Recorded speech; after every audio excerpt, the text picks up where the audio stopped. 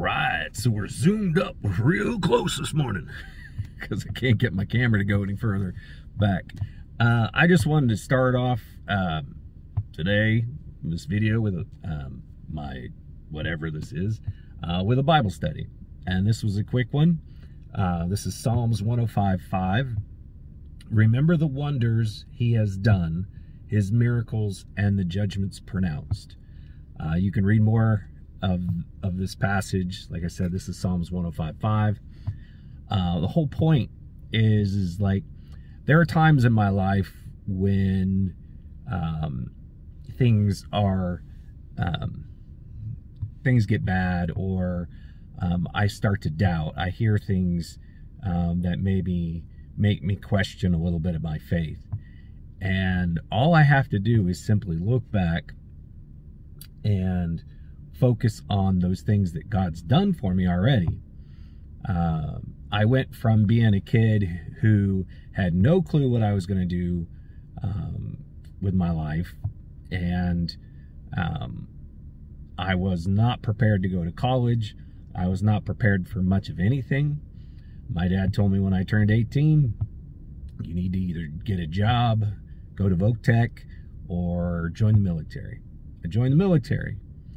And my first, you know, six, nine months in the military, uh, I pretty much just did what I wanted to do.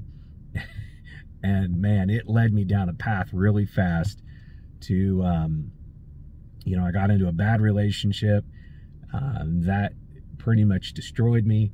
And God spoke to me in that time, um, probably the most audible I've ever heard. I mean, it wasn't audible, but it was the most like, um, just like smack upside this, you know, the side of the head. Um, because of this bad relationship, um, I, I, I couldn't sleep. I wasn't eating. I, uh, I was just in a bad place. And God, uh, one day just said, go talk to a base chaplain. And I knew that the base chaplains were primarily, you know, guys who just did the job because it was a job in the Air Force. Um, and so eh, they weren't necessarily like there because the Lord put them there. Um, but God just said, go. And I went and I talked to this base chaplain, and he just happened to be a reservist that was there during Desert Shield.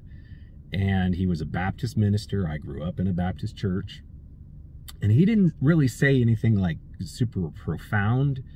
I think it was just that I was willing uh, to take that step. And I got my life back into church, and that was probably 1990.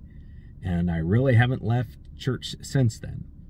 Um, but I can look back at those those steps in my life where God was a important part of walking me through the hardships in my life. And I think if we start to focus on those things that God has done for us already, um, the miracles that we've seen, family members healed, um, the jobs that He's provided, um, when we've repented, you know, from our sins, God has helped us. Um, God has provided me throughout my my whole life, uh, someone to always communicate with. Um, you know, he's always been there. And I think once we we start to take our eyes off of all the things that he's done and we look to the things that we want him to do, um, then we get into a really negative area. And then if we look back at all the other things that have happened in our life, the negative things, and we only focus on that, things obviously get to be pretty negative. I was listening to somebody talk uh, a couple days back, and they were saying that a majority of the time that we are alive, we either think about the past or we think about uh, the things that we want in the future. And we tend to think about the negative things and we worry about those things instead of focusing on today and you know asking god to uh, give us what we need today but also remembering what he's done for us um, throughout our lives. And really, you know, this is kind of a rough thing to say, but if you think God's never done anything for you in your life, um, you might need to try to give God a chance and live the way God has told us to live.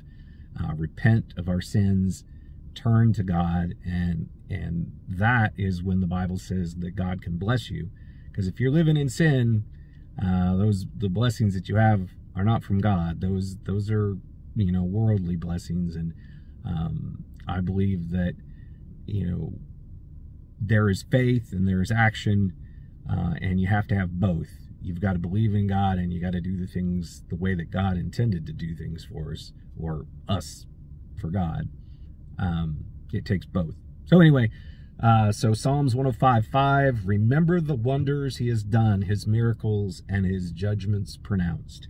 All right, take care. God bless. And I hope you have a wonderful day. Bye.